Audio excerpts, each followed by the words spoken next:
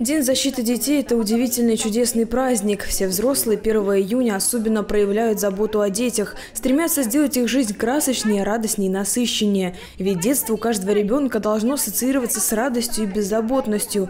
Но так бывает не всегда и не у всех. Социально-педагогический центр в городе Бресте – это учреждение, которого в идеале не должно быть, ведь каждый ребенок должен жить в любви и заботе с мамой и папой.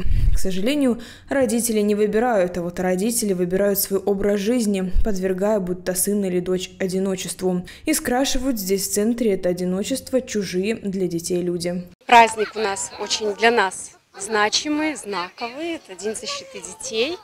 Мы, конечно, очень рады, что к нам приехали такие гости. Мы очень старались, очень ждали. А, и, конечно, будем продолжать этот день весело, задорно потому что этот день не закончится сегодня. Накануне Дня защиты детей к мальчишкам и девчонкам Брестского социального центра с подарками и поздравлениями заглянули долгожданные гости. Глава администрации Московского района Александр Прадун и заместитель главы администрации Алла Ульяницкая. С порога их ждала праздничная и интересная программа, которая создала настроение для всех присутствующих.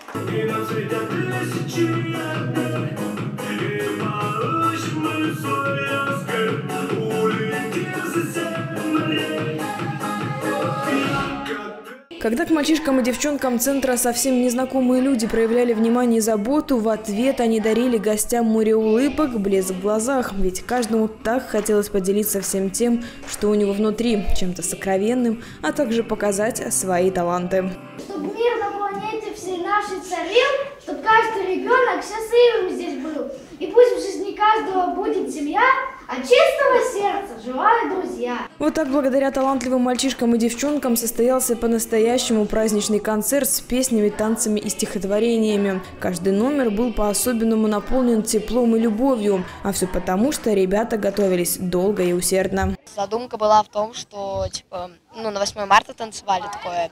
И нам сказали найти идею такую, ну, типа, э, ну, станцевать что-то. И мы придумали, типа, искали по ютубам, там лазили, и наткнулись на этот танец 8 марта.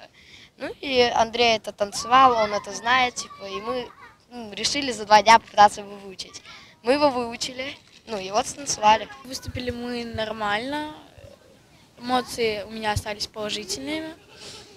Э, подготовка шла недели полторы. Дружны мы, потому что каждый подбирает подход – к каждому воспитаннику здесь и помогают, помогают и пытаются помочь по-своему. Такие разные, но такие талантливые мальчишки и девчонки подарили гостям заряд настроения и эмоций на весь день. Эмоции непередаваемые, и словами сложно описать эти чувства. Жизни зачастую не хватает действительно искренних таких э, светлых чувств, да, эмоций.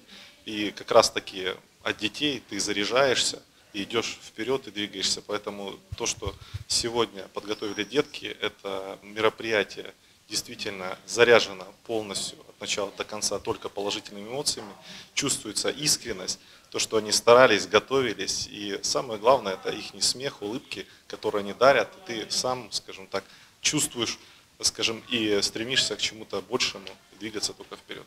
Но какой праздник может быть без подарков? По завершению праздничного концерта каждый из ребят получил сладкие подарки, а директору школы глава администрации подарил сертификат на 3000 белорусских рублей для приобретения необходимого инвентаря или техники для центра.